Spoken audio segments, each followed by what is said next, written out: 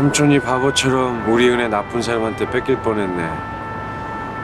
그래도 하늘나라에서 엄마가 도와주나 보다. 그치? 하, 우리 누나 목숨 같은 귀한 자식 나한테 맡겨놓고 얼마나 불안할까. 은혜야, 엄마 보고 싶어?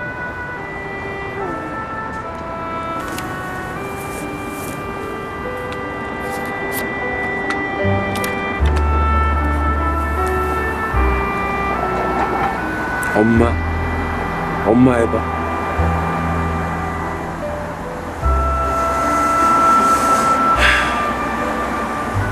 엄마, 보고 싶어요.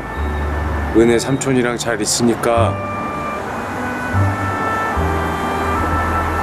너무 걱정 마세요.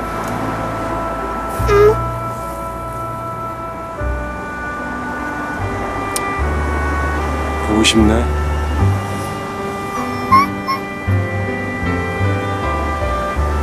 엄마. 엄마.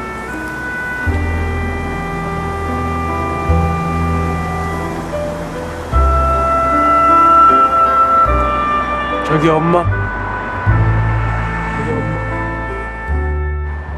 세상에 은혜 삼촌 대박 났네. 아 제가 대박 날 게 뭐 있습니까? 은혜가 물려받은 유산인데 전 결단코 우리 은혜 돈 10원 한 장도 건드릴 생각 없습니다. 혹시 우리가 뜯어먹을까봐 미리부터 선 긋는 거예요?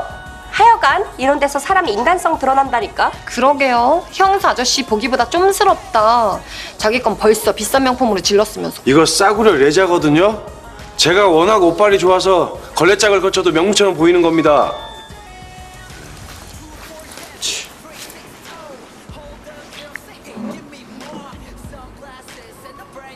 금만기 타이밍 죽이는구만. 전 먼저 일어나 보겠습니다.